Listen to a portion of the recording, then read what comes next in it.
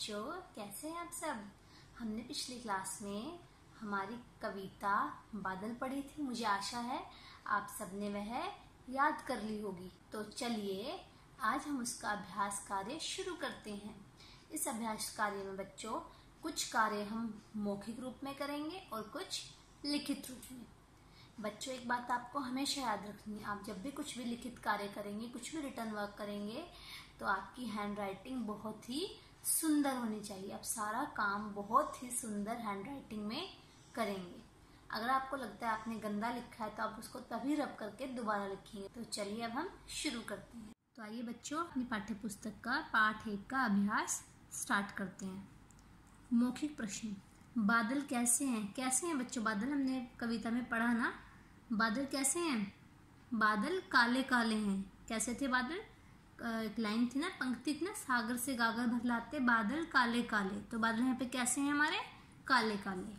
बादल कहाँ कहाँ जाते हैं? कहाँ जाते हैं बच्चों बादल? बादल हमने पंक्ति पढ़ी थी, कभी खेत में, कभी बाग में, कभी गाँव में जाते।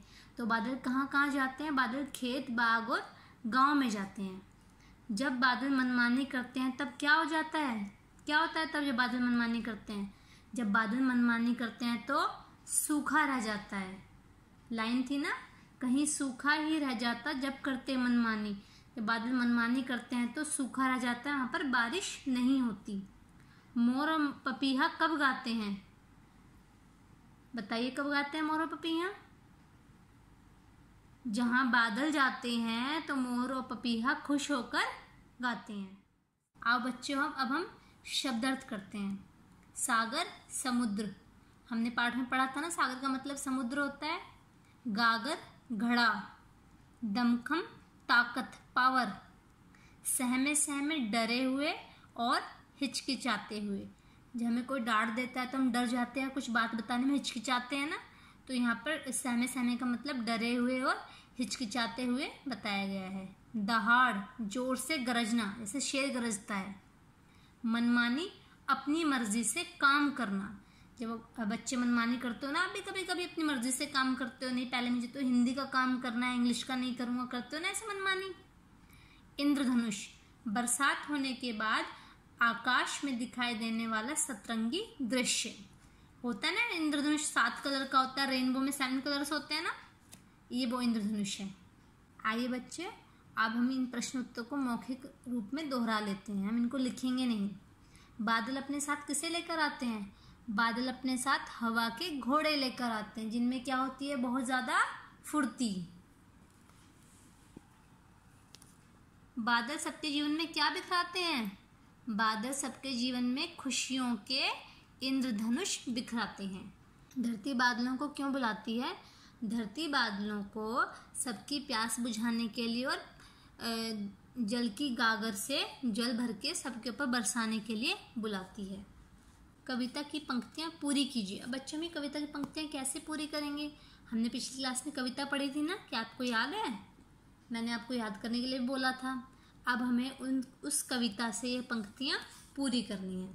कभी खेत में, कभी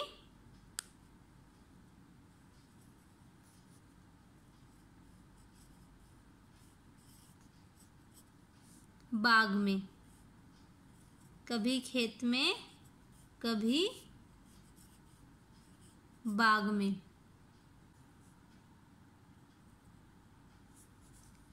कभी गाँव में जाते। डैश सहमे सहमे, क्या था बेटा इसके आगे? कहीं निकलते सहमे सहमे, क्या था इसके आगे? कहीं निकलते।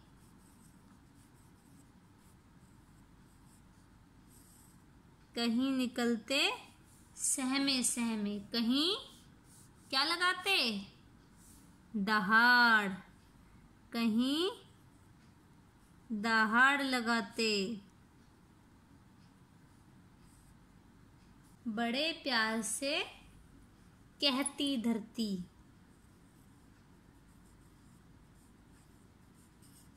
बड़े प्यार से कहती धरती। आओ, बादल।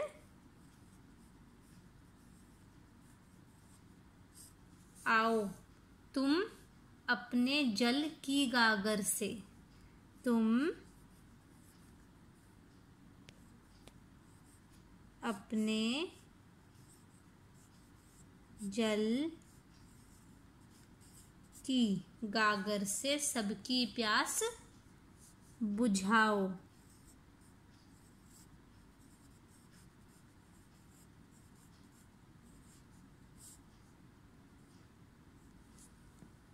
सही वाक्यों पर सही का तथा गलत वाक्यों पर गलत का निशान लगाइए।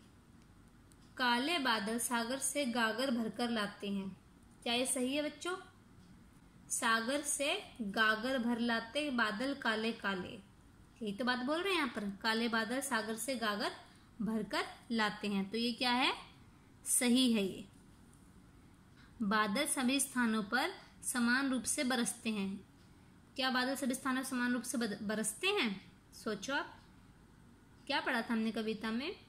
कहीं छिटकते नन्ही बूंदे, कहीं छमाछम पानी। तो मतलब क्या है इसका? कहीं तो बादल बूंदे छिटका रहे हैं और कहीं क्या हो रहा है? छमाछम पानी बरस रहा है। तो इसका मतलब क्या हुआ? ये गलत है। बादल समान रूप से नहीं बरसते हैं। धरती बादलों को गुस्से से बुलाती है। धरती बादलों गुस्से से बुला रही है बच्चों कविता में? नहीं। बड़े प्यार से कहती धरती, आओ बादल, आओ। क्या बोल रही? धरती बादलों को बहुत ही प्यार से बुला रही है। इसमें तो ये गलत है। धरती बादलों को गुस्से से नहीं बुलाती है। बादल अपने जल से सबकी प्यास बुझाते हैं। बादल अपने जल से सबकी प्यास कैसे बुझाते हैं? जब बारिश होती है तो हर जगह पानी हो जाता है। तो बादल अपने पानी से, अपने जल से सबकी प्यास बुझा देते हैं। ये सही है। पढ़िए और समझिए। र अक्षर। गागर, करना, आरती, तरवर, सरिता तरल ये सारे क्या हैं? र अक्षर वाले शब्द हैं। अब हम बात करते हैं र मात्रा वाले शब्दों की। र र मात्रा तीन प्रकार की होती है। एक लगती है इस तरह से ऊपर, एक ये वाली भी र मात्रा है और एक ये वाली भी र मात्रा है। अब इनको हम कहाँ इस्तेमाल करेंगे इसके बारे में जानते हैं। खर्च। इसमें जो र मात्रा च के ऊपर लग रही है बट हम इसको जब पढ़ रहे हैं तो हम क्या बोल रहे हैं? खर्च। आ ये च से पहले रही है। खर्च खर्च। खर र ख के बाद रहा आ रहा है च से पहले आ रहा है। पर लगेगा कहाँ ये रहा? च के ऊपर। खर्च। धर्म। धर्म। ध के बाद आ रहा है और माँ से पहले आ रहा है। धर्म। ये मात्रा कहाँ लगेगी? माँ के ऊपर। अब बात करते हैं ये वाली र मात्रा की। विनम्र। ये कहाँ लग रही है? माँ के नीचे। विनम्र। वी न म्र माँ के बाद बोल रहे हैं इस मात्रा को भ्रम। भागे भा के नीचे है तो हम इसको क्या बोलेंगे? भ्रम। ये भा के बाद बोली जाएगी। भ्रम। ट के नीचे लगी है मात्रा। ट्रक। राष्ट्र। क्योंकि ट के नीचे है तो इसे हम क्या पढ़ेंगे? राष्ट्र। दिए गए शब्दों में र या उसकी मात्रा लगाकर सही शब्द बनाइए। अब इधर क्या लिखा है बच्चों? इधर लिखा है गाम। तो हमें क्या करना है? इसमें राश र लिखना है या फिर र की मात्रा लगा के इसको दोबारा लिखना है सही शब्द बनाकर। तो हम क्या करते हैं? ग, र, अ, म। ग्राम। क्या बन गया ये? ग्राम। दूसरा। प्रणाम प्रणाम तो कोई शब्द नहीं होता। आपने सुना है प्रणाम। प्रणाम मतलब किसी को नमस्ते करना। प, र, अण, अ, म। प्रणाम। काय। काय तो कोई शब्द नहीं होता। अगर हम इसमें या के ऊपर र लगा दें तो क्या बन जाएगा? कार्य। कार्य मतलब काम। अब क्या है? गज। गज में हम कौन सा रा लगाएँ कि एक सही शब्द बन जाए? अगर हम गज में र लगा देते हैं तो क्या बन गया? गरज। गरज गरज। सुय। सूर्य तो कोई शब्द नहीं है। अगर हम या के ऊपर र लगा दें तो क्या बन गया ये? सूर्य। सूर्य मतलब सूरज। डम डम में अगर हम र लगा दें तो ये क्या बन गया? ड्रम। गाम। गाम में गाम में हमने क्या लगाया? ग में र। तो क्या बन गया ये? ग्राम। प्रणाम। प्रणाम तो कोई शब्द नहीं है। प में हमने रा लगाया तो क्या बना? प्रणाम। काय। काय में हम कहाँ रा लगा सकते हैं? य पर। तो क्या बन जाएगा ये? कार्य। कार्य मतलब काम। गज। गज में अगर हम रा लगा दें तो क्या बन गया ये? गरज। सूय। सूय तो कोई शब्द नहीं है। अगर हम या के ऊपर रा लगा देते तो क्या बन गया ये? सूर्य। सूर्य मतलब सूरज। सन। डम। डम तो कोई शब्द नहीं। डम में अगर हम ड में रा लगा दें तो क्या बन गया है? ड्रम। ड्रम आप सबने देखा हुआ बजाते हैं ड्रम। चलिए हम अभ्यास नंबर दो पर चलते हैं। बच्चों कविता में लाते, जाते, लगाते आदि काम वाले शब्द आए हैं। काम वाले शब्दों से किसी काम के होने का पता चलता है। देखो, लाते इसमें कुछ लाने का काम हो रहा है, जाते कहीं जाने का काम हो रहा है, लगाते किसी आप कोई चीज़ लगाते हैं कहीं तो भी काम है। तो ये सारे शब्द क्या है? काम वाले शब्द हैं। इन सारे शब्दों से किसी काम के होने का पता चल रहा है। कविता में से ढूंढकर तीन अन्य काम वाले शब्द लिखिए अब हमें क्या करना है? कविता में से ढूंढकर जो काम वाले शब्द हैं, उनको यहाँ पर लिखना है। जैसे कविता में शब्द आया था, कहीं निकलते सहमे सहमे। तो क्या हो रहा है यहाँ पे? निकलने का काम हो रहा है। निकलना मतलब कहीं से निकल जाना, गुजर जाना। तो हम क्या लिखेंगे यहाँ पे? हम यहाँ पर लिख रहे हैं, निकलते